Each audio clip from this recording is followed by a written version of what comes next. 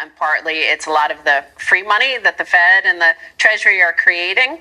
And of course, if you don't have any rent or pay bills to pay because mom is paying your bills and, and cooking food for you, this this is part of that infantilization as well. So at the end of Empire, you have a lot of crazy stuff happen. You have giant babies wearing big baby diapers, walking around, you know, leading the country.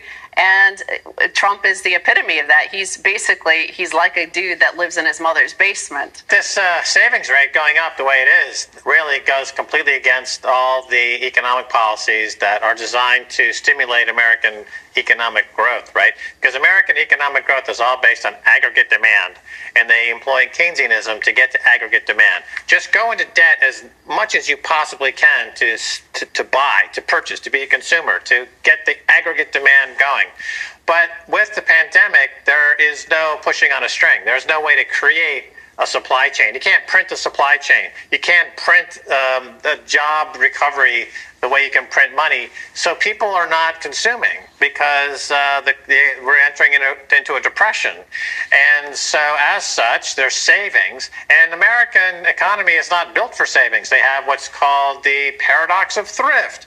They call the savings glut, right? They vilify savings, and saving is bad. But of all those people with savings now, if they converted 50, 60, 70, 100% into Bitcoin, then they could become individually sovereign and they would save themselves.